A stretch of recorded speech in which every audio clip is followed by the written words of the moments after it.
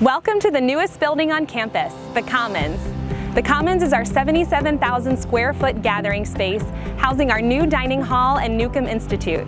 The new state-of-the-art dining facility that takes the place of Bruff can host up to 1,000 students and visitors at once, and also has some of the best views of campus.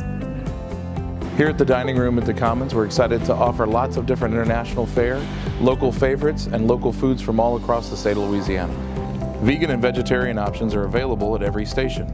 We also have a special platform called Simplified, which offers meals free from all the common allergens. When dinner service ends, the dining room will stay open until 2 a.m. for student lounge and study space.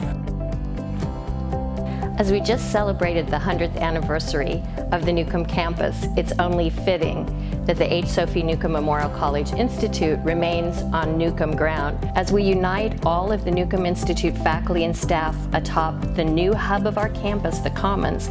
We celebrate the fact that only the audacious will ensure gender equity in the 21st century.